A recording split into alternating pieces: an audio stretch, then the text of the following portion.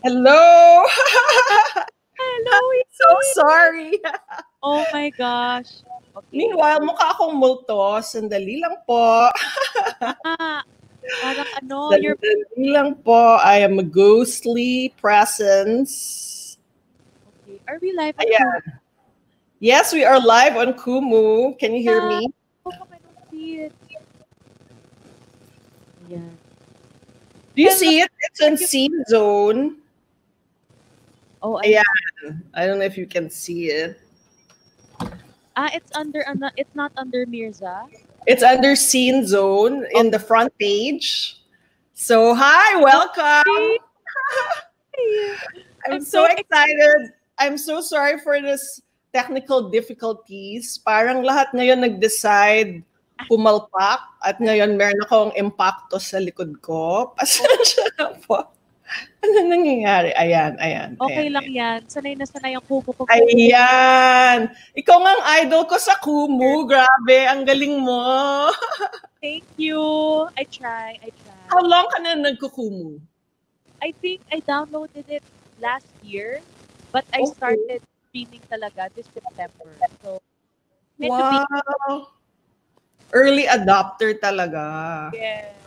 So how are you? Why are you so fresh? Woke up like this ba yan? Or did you have a job today? No, this is all for you, Mirza.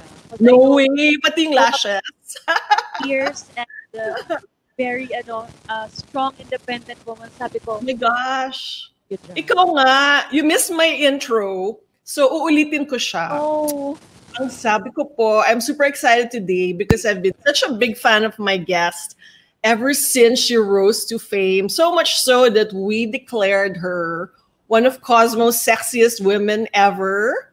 She's not only sexy, but such a talented and versatile film and stage actress, singer, comedian, ano pa, devoted mom of two, and now a baguette baker and a shakshuka shaker. So empowered and truly comfortable in her own skin. Ang dami Yeah. namin matututunan from you. So, please welcome Kai Cortez. Oh, welcome part two. hey, hey. Thank you for having me here. So, oh my, so how's everything? Tapos na yung filming for Four Sisters? that's right. It came out yesterday. Okay, the wow. the other day, and it came out yesterday worldwide. So, Worldwide. that. Yeah, because usually, alam mo naman roles ko, as you said, pa-sexy, best friend, girly, kikay. But for I this movie, it was know. kasi sobrang tomboy ako. Kakaiba ang role. You wanna, I'm gonna flash a picture while you tell us about your Yes. Kakaibang role. oo. This is really something different. Parang I've never done anything like this before. Kasi sanay ako na ano, na ano, maarte. I know. and then all of a So tell us about ano, paano nag-originate yung role? Did they have you in mind from the very start? Or anong kwento? Um, paano ba? Because the original Toti, she's my friend, uh, Kuya Cecil Paz. It's a real life Toti? Yes. No, Oh, not wow. real life Toti, but kasi, di ba, Four Sisters Before the Wedding is a Ah. prequel Right, right, right. Sisters right. and the Wedding. Correct. So, merong original na yayo that was played by Tama. Cecil Paz. Tama. And since kailangan flashback, they needed a younger Toti Marie. So, okay. Actually, they had two actors in mind, but the other one was busy. Oh, okay. hindi ko sasabihin na ano, hindi ko sasabihin na binaldado ko siya. no, but the director said talaga from the start, it was the two of us. And sabi ko, direct, hindi ko gets. Direct May Cruz uh, really pushed for me. I said, direct, hindi ko talaga gets. Paano mo nakikita na kaya ko magtoti? I was so nervous. Oo But nga. Diba? When we started, since pandemic ngayon, we couldn't see each other personally. So they sent clothes to the house. They sent a wig to the house. So when I put everything on, I was like, parang I have an alter ego that I haven't discovered yet. Undiscovered inner lesbian. Yeah. Well, I've had, I, I'm pansexual naman eh. So I'm not close to just Ooh. one, you know, one preference. Okay. I've never seen myself as boyish Okay, So, wow, when I put on ever. wig and I put on the clothes, parang wow, this is a new side of me that I've never discovered before. And wow. I like Wow. it. So, totoo pala talaga yung when you put on the costumes, you step into the role. Parang di ba sa The Crown? Yes. Anthony and Emma Corrin, pagtapak niya, pagpasok niya dun sa damit ni Lady Di, Correct. saniban siya. So how did you prepare for the role? Meron ka bang mga visualize or in-internalize na actual people? Well, nag-research ako. Nag-research ako. Oh, do tell! Paano naman, hindi naman mag-research literal na research. But si ano yun? Parang inalala ko lang yung mga people in my life that are the same, that dress the same. Parang, ano, nakaka-relate naman ako sa kanila. I just really tapped on my masculine side. And I think, um, it was very therapeutic for me, especially in my, my personal life. Kasi, Wow! How Yes. so? ganun siya ka, kabigat sa akin yung character na to because wala lang kasi 'di ba kung titignan natin ang gender roles mas may strength pag lalaki ka or boyish ka so I really tapped into that and uh, it really helped me um, discover parts of me na I lost from being a mom Wow! kasi 'di ba ako when I become became a mom talagang na-put to the back lahat ng mga um, sarili kong interests and everything. I put my kids Right. first. But with this role, parang biglang lumabas ulit yung self-love ko, which was Oh, wow. vital pala in me being a better mother. And Wow! yeah, Ang lalim! I know, right? Ang lalim! Teka, mukha kong multo. So just keep talking while I adjust my ghostly self. Napaka-beautiful to. Can you haunt me? So Ano yun. So, Oo. ganun siya kalalim for me, which I never expected. Kasi, usually naman, I just play almost myself sa lahat ng role na binibigay sa akin. And this is the Oo. only time that I had to really dig deep. And ganun pala yung effect niya. Meron siya mga life-changing effects na ano, na, that really stuck with me and changed me as a person. So, I'll always be grateful for the opportunity that Star Cinema gave me, that Direct Make Cruz gave me. And nakakatuwa that someone believed in me more than I believed in myself.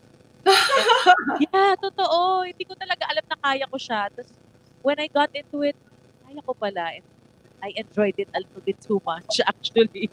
Wow. When you say life-changing, anong traits ang nag-change or ang naibalik mo? For example, is it like being more assertive or...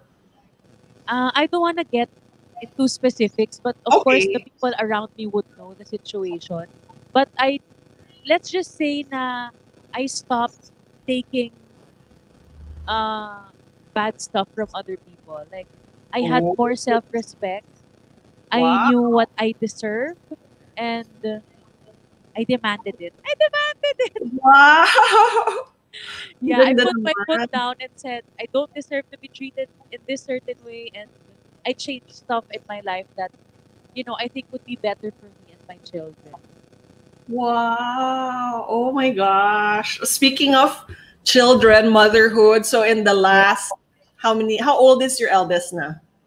My eldest boy, Habib, is turning four this December. Oh my God. And my younger daughter, Turned Carmen, one. Happy birthday. yes, happy birthday to me. and so how did how has motherhood and marriage changed you? Ah, grabe.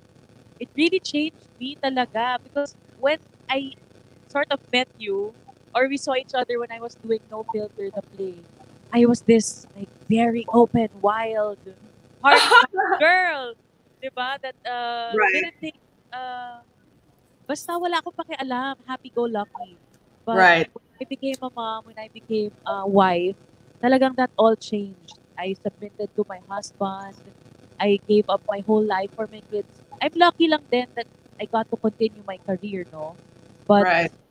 yeah, the priority really changed. Kailangan ko talaga magtino. I had to set my priorities straight and uh, siguro chose roles then that wouldn't really be too sexy or Right. ganon. Right. Yeah. Nag-enjoy naman ako kasi before marriage, I never cooked. I was never a homemaker. But natuto ako magluto. Natuto ako nga, Baget! Ang hirap nun. Yes! Grabe! Kasi di ba ng pandemic, walang makabukas na bakery and stuff. Eh, yung asawa ko nga. ayaw ng pandesal. Ayaw niya na matatamis na bread. So, I had to, you know, Ang swerte naman, fresh baguettes, lovingly tayo made. ng mga bread. di ba? Effort. Wait, Mirza, ang dami ng Yes. tao nanonood sa... Oo. I think I have a lot of friends down there.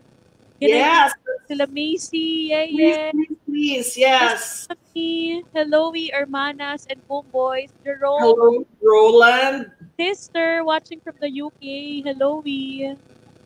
Yes, ayan. Ayan, ang mga fans. No, they're my family here in Kumu. oh, okay. Yes. Kaya full support sila palagi whenever one of us are in another ano stream. Right. Meanwhile, ang puti-puti ko na. Hindi ko alam gawin. Ano nangyayari? Maybe the, the ring light is too. Kanina okay siya eh.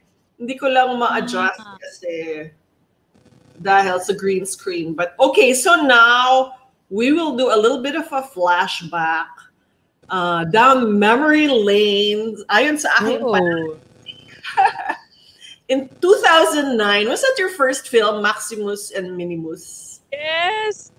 Ang galing! 2009. So that's 11 years ago. I was 19 years old. 19. Wow. And was it your Press na first role ever? Yes. And how Yes. did how did you get chosen for that role? Nakita ko yung director nakalagay Nap Hamir. Nap The Hamir. third? Or is it the older Nap Hamir or anak? The older Like older? ako, the more than- ano, the more seasoned Nap Hamir. The Okay. cinematographer, yes. And Okay. photographer. Because meron akong, ah, anong tawag dito? Classmate. Pero bata ako nun, sa photography school named Nap Hamir. But I was 12 years old and he was an adult. So, siya ba yun? O baka anak niya? Baka. But uh, he's a professor also in UP.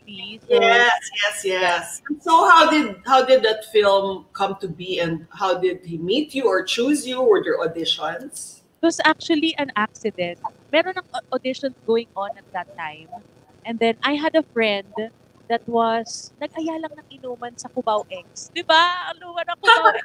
Wow, that's talaga. Yes! And then I was in college.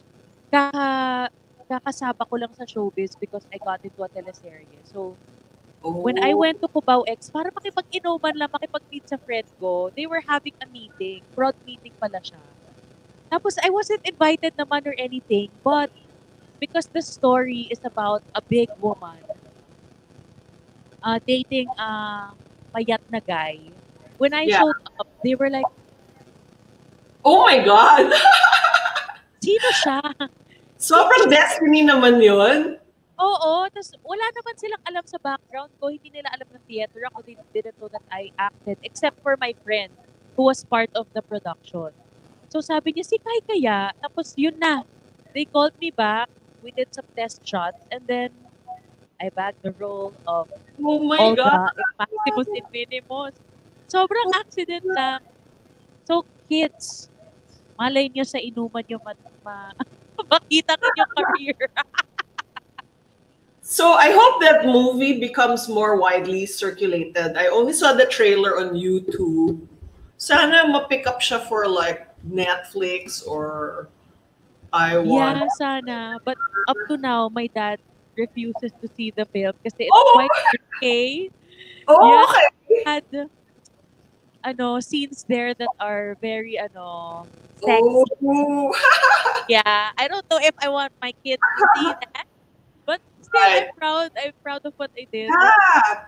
Because Medyo it, scary. it's so timely. I mean, I mean 09 pa siya, pero parang ngayon in the you know, in the atmosphere of uh, body diversity and body positivity. Sobrang empowering kaya. Could you sum up the message of that film and what it did? You think what kind of change you help impact on society? I think more than the story because the story was uh, it's really weird.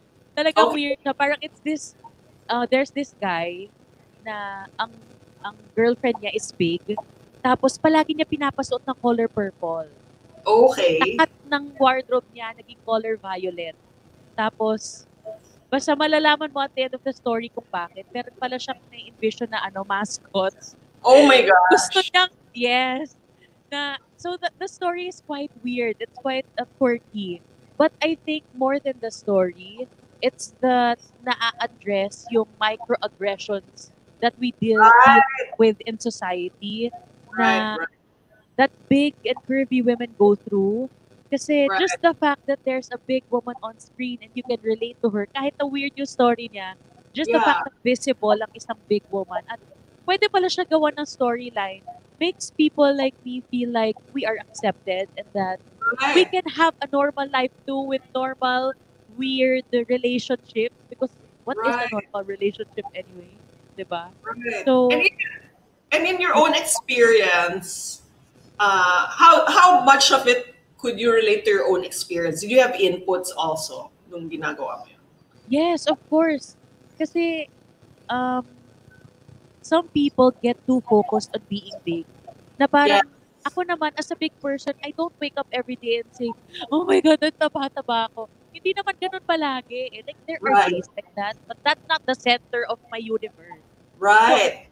It's refreshing to see a story na funny and hindi nakafocus sa pagiging mataba. It's just a fact na, okay, Right. mataba ako and this is my life. So, Right. I'll still go on and ang saya pa rin ng buhay, nakakatawa, nakakaiyak. And then in 2015 ba or 2016, you did ang tabako ng ang tabako kasi. Kasi, that's right. So similar din ba yung message? Well, magkaiba sila ng storyline. Pero ito namang ang tabako kasi, less weird. It's a more conventional love story. And Right. ano, ano ba? Cute siya. Ganda-ganda ko lang. Ganda-ganda, ganda-ganda ko lang sa movie na yun. Kasi, bet na bet ako ni ano, Mark Newman. 'Di ba? Mas bata, ah, pogi, tapos ano, swimming instructor siya. Pangkilig lang. But I think ang similarity nila is that yun nga, kahit na we are big, we don't have to, you know, treat it as a crutch or parang a Right. disability to live a normal life na merong bonggang love life at bonggang chururut life, you know, in the bed. we can still be happy in all those aspects, whatever size you are. Right. And uh, reading up about you, I learned na you grew up in such a loving environment with such loving role models that you never even thought there was a problem with your size. You want to tell us about it for those who don't know? Yes, kasi di ba nga some other people, bubog talaga nila sa buhay na ano, they were bullied, which to talaga naman na pagdadaanin na ng madami kong mga kakilala. Pero ako, I was fortunate enough na kahit na I hear comments na big, ganyan, it never really affected me because my role model is my mama and all the big women in my family, madaming big women na beautiful sa family ko that I never saw it as an issue. Parang pagka sinabing mataba ka, okay, mataba. Parang matangkad, maliit, short hair, long hair. It's a description. Ito totoo, mataba ako. Should I cry about it? Should I Right. feel bad about it? Right. It can be unhealthy and meron siyang unhealthy benefits. But that's for me to deal with and it's not anyone else's, you know, concern. Right. Right. If ever I'm I'm trying to be healthy, wala na kayo doon, 'di ba? I, I shouldn't have to explain myself to anyone as long as you know, I, I know my health and I'm happy and Right. I know that the people that are around me love me and are supportive of me, then wala akong kailangan problemahin pa. And my mom showed me that. Actually, Right. my parents, because doon ko rin nakita na alam mo yon kamahal-mahal ka kahit anong itsura mo. Especially with my dad na more than he looks beyond what you look like. Gusto niya yung itsura ng mom ko. He would really Right. So nakita mo yun growing up. Yes, he would hold her. Sorry ma, love handles. And then, they'd be so kilig. At yun ang ano, lambingan nila. So, I saw na parang, wow, pwede pala makahanap ng tao that would love me for who I, I am. Not only kung ano ako sa loob, but would find me beautiful and sexy. So, very lucky ako sa ganong aspect. Hello? Oh, yun. But then not many grow up with an environment like that. So what can you tell the other big girls who are struggling with it and maybe they didn't get the kind of positive reinforcement that you got? Okay, feeling ko kasi, madaming beses ko na to, Mirza, narinig in my life. Yung line na sinasabing, alam mo, ang ganda-ganda mo, pero kung pumayat ka, siguro mas maganda ka. At saka meron talagang guy na nagsabi sa akin ito when I was 16, a very delicate 16-year-old. Oh my gosh. Ay, kung pumayat ka, liligawan kita. Oh my gosh. So, nung time na yun, syempre, hindi pa ganun ka-grounded yung foundation of self-love ko. Parang ako, shucks, kailangan ko pumayat para oh, kailangan ko ganito, ganyan. Pero, hello, knowing what I know na, ang, ang advice ko sa'yo, girl, wala siyang kwenta. Tama. Even spend any time, effort, or any attention to guys that will tell you, I will love you if you're like this, like this, like this, like this. Because someone will love you for who you are, what in whatever stage your life you are. So don't settle for anyone less and don't change who you are just to please someone else because that's not love. Eh, paano Right. kung tumaba ka ulit, edi hindi ka na niya mahal ulit. So, why stress yourself? Why stress the other person who has weird standards in their love life, di ba? Don't be involved with uh, that kind of relationship. Right. but maybe is that easier said than done? Kasi ano ba yung reality? Like, maybe iniisip nila, eh ano yung reality? Mas marami yatang lalaki na gusto ang payat. Or maybe that's not even the reality, di ba? Iniisip lang natin siguro dahil yun ang sinasabi ng society. Ano sa Well, tingin mo? kung Mirza, di ba kung napapaligiran ka ng mga ganong klaseng lalaki, I'd rather be single. Tama. Di ba? Because I'm happy with myself. I love myself. Why will I put myself in a position na ang standards ng ibang tao, kailangan ganito ko para respetuhin mo ako mahalin mo ako? No. I ain't gonna have that no more. How hard was it for you to enter showbiz as a big girl? Because as we know, ang Philippine showbiz especially, the stars are like expected to be as thin as possible, padamihan ng apps, di ba? You just go through Instagram, lahat nagda-diet, lahat nag-workout. Yun ang Actually, ideal. Anong experience mo? 'di ba? Cookie cutter masyado yung ano standard of beauty sa Pilipinas eh. Pero I think I was just really lucky na passion ko talaga ang theater, passion ko talaga ang acting. So in theater kasi madaming klase ng roles na kailangan. So I wasn't really confined na ang goal ko lang maging leading lady. 'Di ba? Right. So because of that, I really focused on honing my craft and learning, you know, to explore my talent in acting, my skills. Kaya talagang doon ako nag-focus sa talent and I'm just really lucky. It's really luck din talaga, Mirza, we have to admit na Right. given these opportunities, getting these roles, a big percentage, bigger than the talent, is luck. So I'm just really lucky na merong mga roles na bagay para sa akin.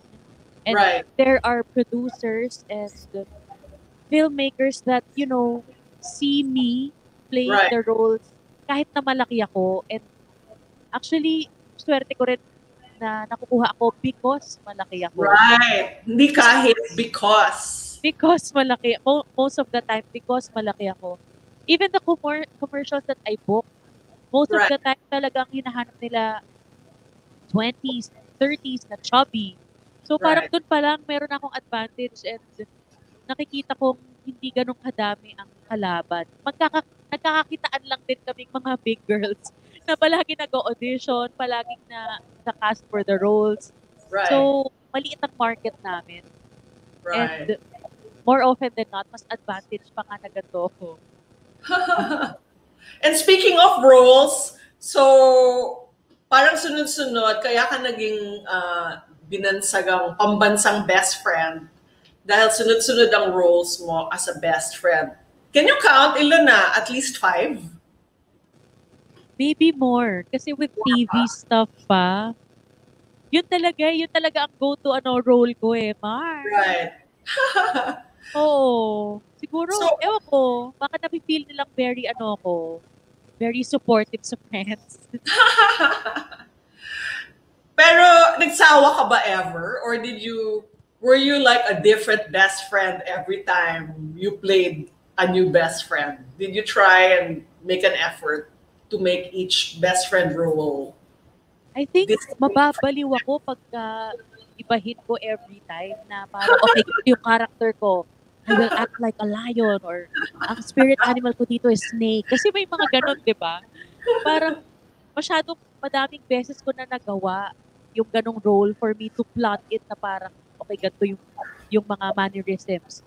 But ang nakita kong technique that really worked throughout the years was that I base it on the bida. On the Kasi what? The bida. The, The bida. woman or the best friend.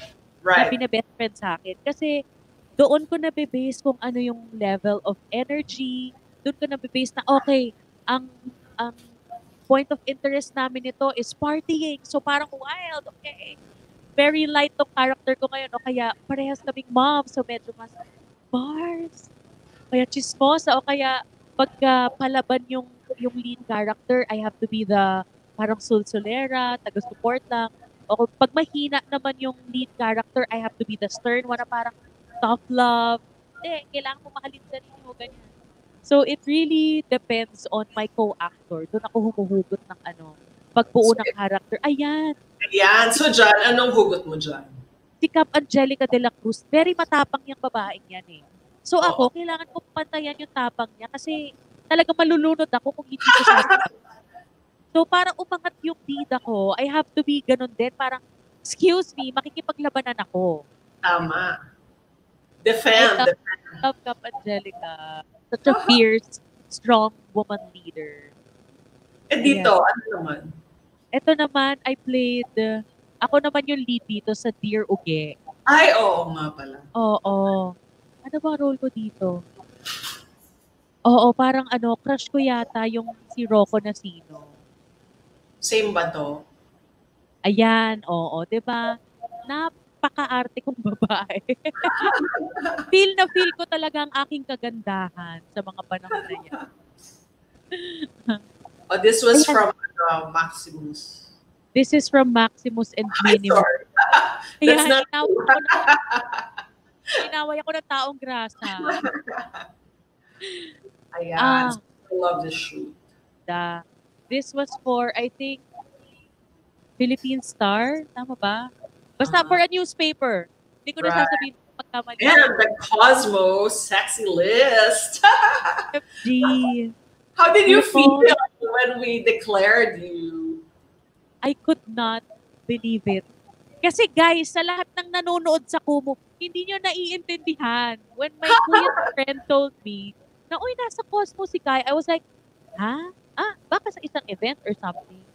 Tapos when I bought the issue, I was part of the sexy list. O biggest pa, kalahati ka ng page. Tsaka guys, yung mga kasama ko dyan, hindi nyo naiintindihan. Here's a, sila Sherry Hill, tama ba? Yes. Tuesday Vargas, kasama din yata. Right, right, right. Paano, paano ang isang Kai Cortez na isang sexy babae lang mapapasama sa sexy list? Sa Kasi- Costco? Goodness. Sexy ka talaga. Parang sa loob ng gagaling. Even when you said, shakshuka. Di ba? Parang ang carnal nung pagsabi mo ng shakshuka. Paano yan? Paano ka naging ganun? I don't know kung conscious ka or not, but how would you say, uh, paano nag-emanate yung sexiness? Kasi even at 19, first movie mo pa lang, ang sexy mo na, di ba? Does it come from confidence? Does it come from being adored by your family? Di ba? I think it has a lot to do with the fact na uh, my dad was a sex symbol when he was younger. Tama. the, ball, the ballet dancer turned sex symbol. Yes. Or maybe ganun lang talaga kami. Parang Okay. nama- namana ko yun sa kanya. Kaya kami napunta sa ganong mga roles or parang ano, um, what do you call this, aura.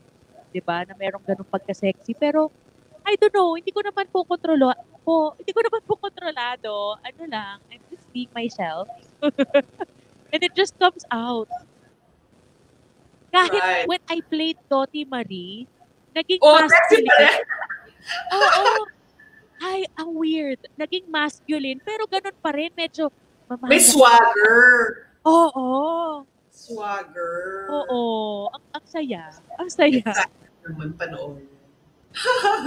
Yes. And maybe that's what attracted you to your husband. Kwento naman about paano kayo nag-meet, paano kayo na-in love sa isa't isa, anong story dyan? Parang ano. Where did you meet? Can we not talk about it, right? Okay. We okay. We met through Tinder. Oh, Tinder. Nag-meet kami Okay. through Tinder. And uh, yun na. Doon na nag-start. Yun na. Parang ang bilis ng mga pangyayari kasi, di ba? Biglang Super. married, child, and then another Two child. kids. Parang Yes. yung world mo talaga. Oo. Nagbago talaga ang mundo ko in very many ways. So, Right. next question please, Mir. Question, please. Okay, buti na lang. Marami akong questions dito. Thank you, thank you. mga sinasabi mo lagi ay yung uh, parang ang message mo to women everywhere is that always think that you're enough. Which is uh, what I hear also from yung mga YouTube gurus like Marisa Peer, di ba? That we have to think you're enough. You want to expound on this and tell us how you have used that in your own mindset. Yes. I think based from my experience, especially in the past few weeks and months, you really have to be happy with who you are, no matter kahit sinong nasa paligid mo. Especially in being a mother. Nakita ko yung importance nun talaga of self-love. Because I believe that self-love isn't being selfish. It's about being selfless nga eh. Because especially with me being a mom, how can I be the best mom that I can be? Right. How can I give or fill the love cups of my children if I myself hindi ako puno ng love? Paano ko Right. pupunuin yung mga baso ng pagmamahal kung yung pitchel walang laman? So, Wow. I think, yes, di ba? It's, it, and I don't think you can achieve filling yourself love without saying that you are enough. Kasi we have to accept that we are human. We cannot be perfect. But at the same time, we are creations of God. And God doesn't make mistakes. So kahit ano pang pagkukulang mo sa buhay, I think that you are enough and you are complete. You can change, you can improve, but who you are right now, with everything that you went through, I am enough. Right. Especially now during the pandemic and we're all locked up at home. A lot of us are going through a lot of feelings, right? And it doesn't help that our only source of interaction is browsing through Instagram and seeing na, oh my God, si so and so, ang dami nang nagawa. Or, grabe mag-work out. Parang 12 na yung abs niya, imbis na 6. Nakakadaling mag-compare at, at ma-depress, Parang ba? bakery na yung chan niya, hindi Tama. pa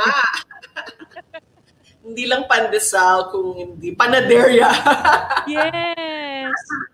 I think so, are you immune to comparing yourself with others or how do you avoid doing that and how do you you know keep the self-love going and keep thinking that you're enough when there are other people that you know you might be tempted to measure yourself against? Of course not. Whoever says that Tao ka rin. is a liar. Hindi yung totoo. Parang human nature na natin, di ba, Mirza? To compare ourselves. Parang hindi na natin matatanggal sa makeup natin. It's how you react. And Right. paano ka ma, ma- madadala sa ganong ah, pangyayari of comparing yourself that will really save your sanity. Pero ako naman kasi, I believe I believe. I believe na lahat tayo are created equally and differently. Parang, parang narinig ko to kay Rada. Sinabi niya na, if 10 women stay in one room, eat the same things, work out the same way, they will still have completely different bodies. That's right. 'Di ba? Kahit na i-compare mo sarili mo na ay mas magaling si ganyan, mas magaling si ganito. Mag talagang pagiging magkakaiba tayo and that's the beauty of life. 'Di ba? Right. There are things na nakikita mo perfect yung Instagram nito pero behind the scenes they're very lonely. You don't know what they're going through. Everyone has their own process that they bear. So it's futile to compare yourself. You can use it for inspiration. Na Right. parang wow, ang galing naman niya magluto, pwede kong gayahin yung recipe niya, or parang, their family went on vacation, pwede kong i-plan ang aking dream vacation one day. Right. Pero don't say na parang, oh my gosh, I'm being left behind because you don't know the process that Right.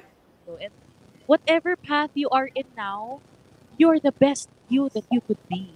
And if you're not happy, then change yourself, improve yourself. I think since inevitable to compare yourself to other people, use that and compare yourself to yourself. Parang, Right. what can I improve in myself?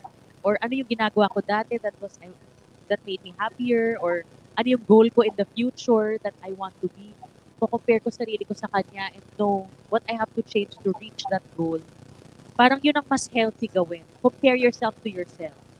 Right. Siguro dyan din nang malamang nang gagaling yung bashing. Parang kaya may bashing dahil parang may void siguro na pinanggagalingan, 'di ba? And sometimes I don't know, uh, inis ba sila sa sarili nila kaya sila nagbabash? What do you think? sabi nga nila, Mirza, di ba? Hurt people hurt.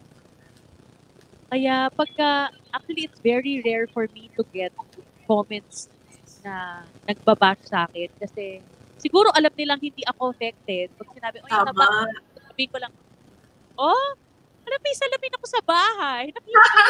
Mataba. Ang galing ng mata mo, ha?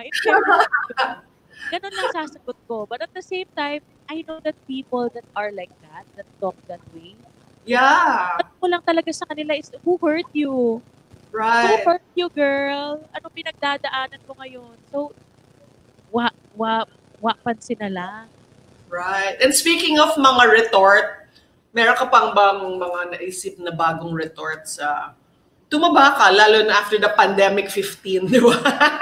Oo. Oo. ano ang mga bagong creative ways of ano answering that or don't even answer or anong ano advice mo dyan? For fun, for fun, maganda talaga yung makaisip ka ng ganyan kasi nakakatawa pag-usapan. Kunwari yung tita ka, uy, tumaba ka. Sabihin ko sa kanya, uy, pumangit ka. Pero honestly, in real life fears na naniniwala ako na energy that you give out is is kind of currency eh. Parang Wow. pera din na parang would you pay someone 5,000 pesos na that said something negative to you?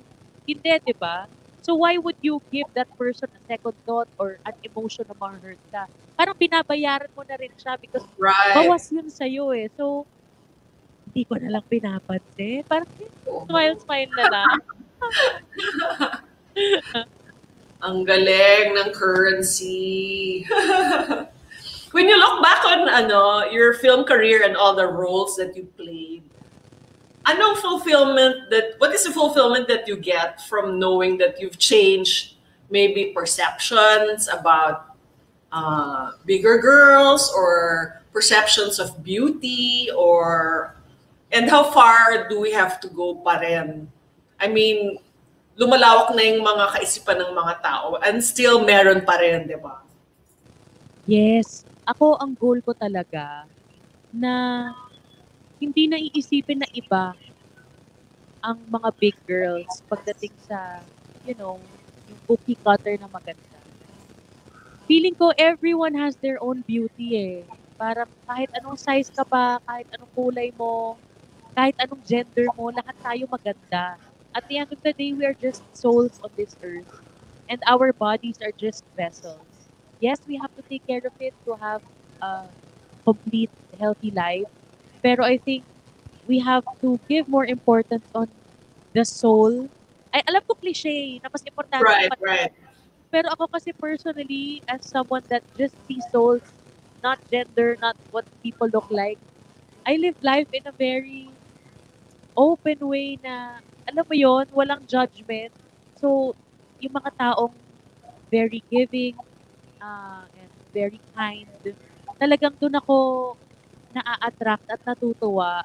At sana mas madami pang gano'n ng magkaroon ng ganong goggle sa buong mundo because life is so beautiful because everyone is beautiful talaga. We have beautiful minds, we have beautiful hearts, and I hope that the physical doesn't muddle all of that up. I'm so tired yeah. of it. I'm right. So, oh, right. basing everything on what you look like. Diba? Just be the best you that you can be. And I think right. we're getting there. The question mo na, are, Thanks are to... there, or if it takes a long time, I think we're getting there. Kasi, ewan ko, I'm just being positive lang din siguro. But, no, but you're such a major force for good in this respect. So ngayong patapos na ang Pesting 2020. ano hmm. yung mga in behalf of in behalf of big girls or any kind of person who is not stereotypically considered to be the norm, what are the things that we should stop saying or stop doing and the way that we treat people who look different, whether it's size or color or whatever. What are the, some of the things that we should stop saying, for example? Para pagdating ng um, 2021. Parang feeling ko, if there are certain things that don't concern you, like kunwari, pwede ba itigil na natin yung pagtatanong ng, bakla ba si ganito? Bakla ba si ganito? diba? Tama bakit may bala ka ba makipagrelasyon sa kanya? Kaya mo malaman? Kapatulan ka ba niya? Ba? O kaya, di ba, if it doesn't uh, personally affect you, don't discuss it na lang with anyone else. Di parang, right. di ba, just accept people for who they are and right. don't for labels. Or if they don't want to come out, maybe they don't need to. And yeah. you have to force them. Oo. Saka ganun din sa pagiging mataba. Yung parang, uy, sayang ka. Sana Oo. pumayat ka pa ng konti. Parang, bakit siya sayang?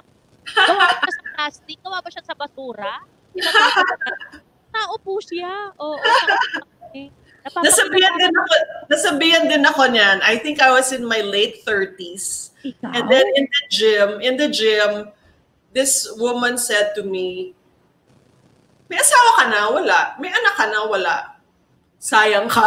Sabi niya. Tapos natawa na lang ako kasi hubot-hubad siya. Sinasabihan na ako na sayang ka. Pero natatawa na lang ako kasi I don't agree with her obviously and maybe it really takes that sense of self para matawa na lang dahil Di ba kung secure ka sa sarili mo, nagiging katatawanan na lang dahil hindi yan naintindihan yung gano'n. So, nobody is immune to that sayang ka. Doon mo na hurt you eh. Oo nga. O kaya sabihin mo, te, yung edad mo, yung mga kaedad mo namatay na, ikaw bakit hindi ka? Oh my God. Kung nandun na rin tayo sa topic na yun. Bakit siya ganon? Bakit may mga taong ganon? That's oh, not I a bit. Ano lang yun? Ignorance or lack of exposure or lack of, I don't know, education, lack of turning on the internet kasi nasa internet na lahat, di ba? o baka bet ka niya, kaya gusto niya you start Hindi niya ako bet. Hubad-hubad eh. Girl. Yung mga ganun. Or spe- specifically for big Again, girls, di ba? Sabi ni Sometimes- ate, Ah, sabi ni ate dito sa Kumu, basahin ko, yung iba bumait na, ikaw hindi pa. pwede, pwede. Nakakatawa. Okay. Sana all maganda, like Mom Kai. Oh, we are all maganda naman. In our own way. Pero especially today, ang ganda mo, ang ganda ng makeup mo, patingin nga, pikit ka nga. May cat eye ba yan? No, I have nothing on my eyelids. Just, ano, Oh, false lashes. and liner. Makeup skills. And is that real kilay or microblade? Helped. Helped. Help! No, grew it this morning. It was non-existent before this. Yes. Ang galing. Pero hindi, hindi pa ako nakakapag, ano, what do you call that, microblade? Kasi I just stopped breastfeeding eh. Eh, bawal pagka nagbe-breastfeed. diba? But I would wanna try. Ah, isa pa palang ano, practical tip. I mean, you wear clothes so well and you don't care what you wear. You're gonna wear what you wanna wear. Di ba? Anong ano mo, fashion philosophy? Kasi if you go by the old rules, parang she really shouldn't wear that because it's emphasizing bulges that shouldn't be. Anong anong pananaw mo dyan? Or ang gusto mong sabihin to encourage other plus size girls? um, just be comfortable. Because I think, kasama na sa comfort, yung fact na you're wearing the style that you like. Right. Hindi po naman kasi pwede i-dictate na, okay, ganito lang yung pwede sa'yo. Kasi paano kung gusto ko medyo rugged? Paano kung gusto ko medyo normcore? 'di ba? As long as you're comfortable and you feel like you're happy with what you're wearing, kahit ano naman kaya mong dalhin eh. Kahit na, kahit na tela lang yan. 'Di ba? Kung komportable ka and you can carry yourself well, why not? Go for it.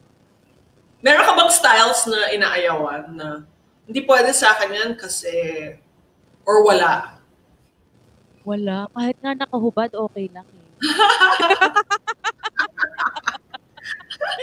kung, kung meron lang naked beach sa Pilipinas, gumora na ako Oo, doon. diba? Yan ang confidence talaga. Kaya idol na idol kita. Pengen pa ng confidence dyan. Ano yung secret to that confidence? I'm really so curious. Other than the love of your family. hindi naman ganito everyday, di ba? Siyempre may mga days din na insecure tayo. I think it really helps din na, oo, nakakatulong talaga pag kino-compliment ka. Pero, I guess you just really have to know your body very well. and Right. accept every curve, nook and cranny, warts and all. Kasi Right. everything that makes you who you are is that eh. So, maganda yun. Accept it. Kung di mo gusto, then change. Right. Whether in the gym or at the doctor's office, go lang. Susuportahan kita dyan as long as it makes you want to love yourself better. Go. Galing. So, what's next for you? Anong mga nakasalang dyan? Or anong mga gusto mong gawin? What's on your bucket list? Well, for now, kasi we're in the middle of uh, taping a TV show called First Yaya. For oh, GMA. yes! I saw your posts. Ano Yes. Yaya? What is it about? Sorry. Yes. What's it about? Tanya Lopez, who plays the yaya of the first family of the Philippines. Ah. The president, uh, who play, who is played by Gabby Concepcion. At gwapo pa rin ni Gabby Concepcion. Yun ang ageless, di ba? Grabe. Oo, pagwapo pa nga ng pagwapo, parang ano, fine wine. Yes. so yes, yan ang ginagawa ko ngayon. Tapos kami mga friends ni Sanya sa Malacanang. Opo, kami ang mga yaya at mga maid ng Malacanang. So it's gonna come out hopefully in March.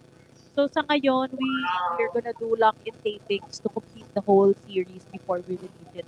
Which is so different sa Philippines kasi usually, ang tinitake ngayon, ipapalabas tonight eh. So, oo, ganun. Natuto lahat mag-advance. Oo, everything is planned, all the costumes, all the props, lahat naka-ready na. Tapos, yun na, isi-sell na siya. Hopefully, mapalabas din sa mga online sururot, you know, Right. in March. So, please abangan nyo yan. And yesterday, as I said, lumabas po ang Four Sisters before the wedding. OMG, this movie, as I said kanina sa mga nandito, really changed my life. And I hope that everyone that watches it really gets touched also and sees the bond that we had while shooting the film. This is my first lock in movie eh. So, Right. din yung team talagang na-incorporate talaga namin pagiging pamilyang totoo. And I hope that you will see that when you watch Four Sisters Before the Wedding. And the four girls are amazing. Wow. Para talaga sila yung younger version. And Mirza, i-plug ko lang na here in Kumu, please follow me. Yes. I will I will type sa chat box sa baba. You can follow me there because madami po kaming pakulo, especially this Christmas.